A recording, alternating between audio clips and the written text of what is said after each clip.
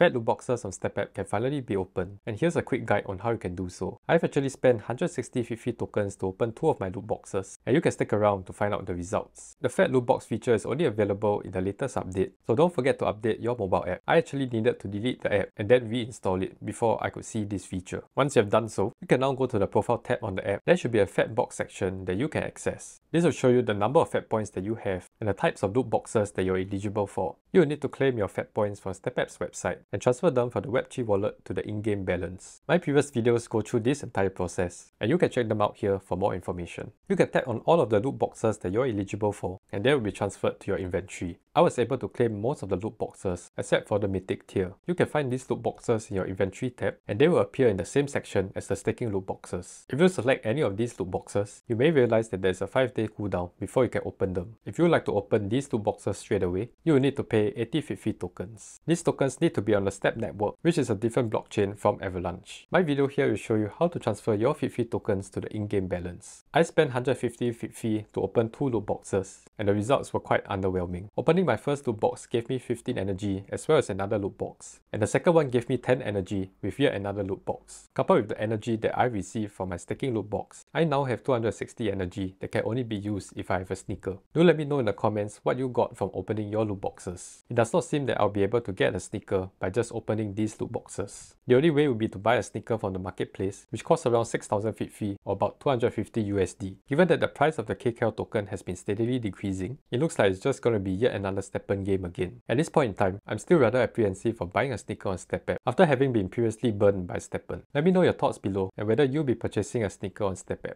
If there are any more updates to StepApp, I'll be linking it to this video here. Otherwise, you can check out my StepApp playlist for all of the guides to start this game.